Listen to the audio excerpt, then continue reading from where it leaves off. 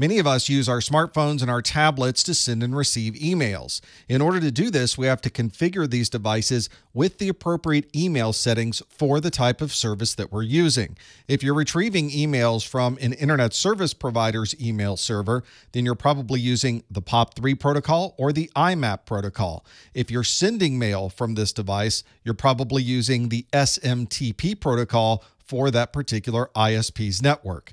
If you're on a corporate network, you may be using something like Microsoft Exchange, which has a completely different process for sending and receiving emails. And if you're using a number of providers that integrate email, such as Google, Yahoo, or iCloud, then there are a number of additional steps that you'll need to take to be able to configure those accounts. Let's start with a protocol that's commonly used to retrieve email messages onto our mobile devices.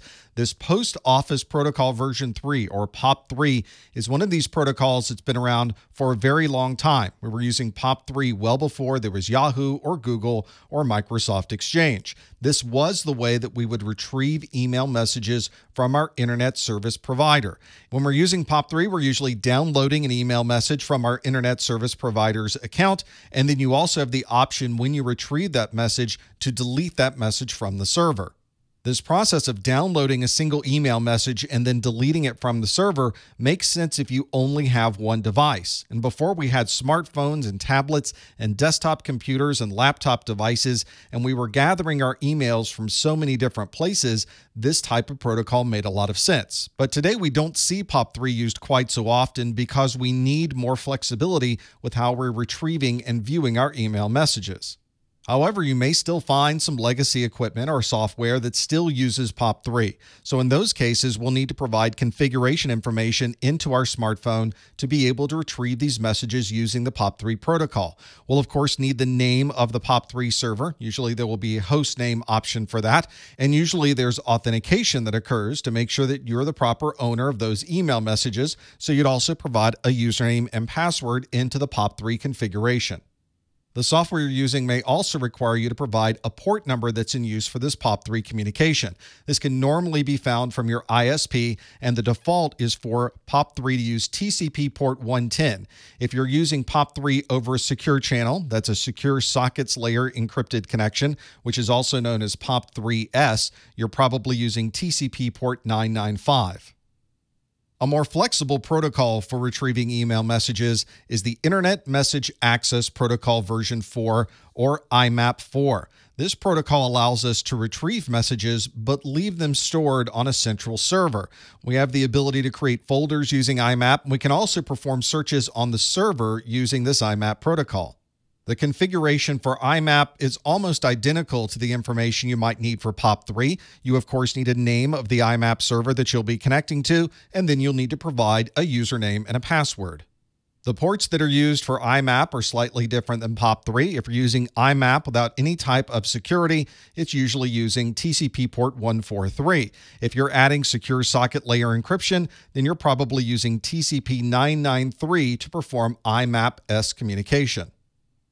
We know that retrieving mail from your ISP is going to use POP3 or IMAP, but what about sending email messages? In those cases, we're using SMTP, or the Simple Mail Transfer Protocol. This allows you to send email from your local device to your ISP's SMTP server.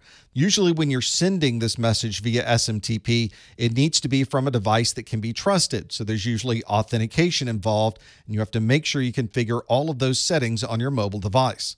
Although sometimes this authentication can be the same username and password that you use to retrieve email messages, it doesn't have to be. So make sure that if you're putting in SMTP authentication settings, that those match the SMTP settings that are configured on your ISP. And of course, SMTP uses a completely different set of port numbers than IMAP or POP3. If we're performing a simple SMTP with no authentication, then we're probably using TCP port 25. But most authentication for SMTP is going to run over TCP port 587. For using email at home, being able to use POP3, IMAP, or SMTP probably works just fine for you. But at your office, you'd like to be able to integrate your email with a calendar. You want to be able to look up a set of contacts in a database or have reminders provided on the screen. In those particular cases, you're probably using an enterprise email system such as Microsoft Exchange. Microsoft Exchange even allows the synchronization of this information so you can keep a contact list on your phone, and that same contact list is synchronized with Microsoft Exchange.